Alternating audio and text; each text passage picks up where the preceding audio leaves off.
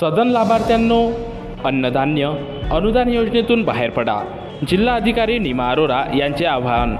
राष्ट्रीय अन्न सुरक्षा अधिनियमानुसार पात्र असलेल्या अंत्योदय अन्न योजनेतील लाभार्थ्यांना अन्नधान्य सवलतीचा लाभ दिला जातो. परंतु ज्या पात्र लाभार्थ्यांना सवलतीच्या दराने अन्नधान्याची आवश्यकता नाही अशा सदन नोकरदार व्यावसायी व शेतकरी लाभार्थ्यांनी स्वेच्छेने अन्नधान्य अनुदान योजनेतून बाहेर पडा असे आवाहन जिल्हाधिकारी निमा अरोरा यांनी केले आहे.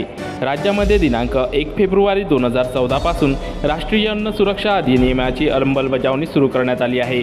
या योजनेअंतर्गत विविध अटीनुसार पात्र असलेल्या अंत्योदय अन्न योजनेतील लाभार्थ्यांना प्रति शिधापत्रिका प्रतिमहा पस्तीस किलो व प्राधान्य कुटुंबातील लाभार्थ्यांना प्रति व्यक्ती प्रतिमहा पाच किलो अन्नधान्याच्या सवलतीमध्ये दराने लाभ देण्यात येतो.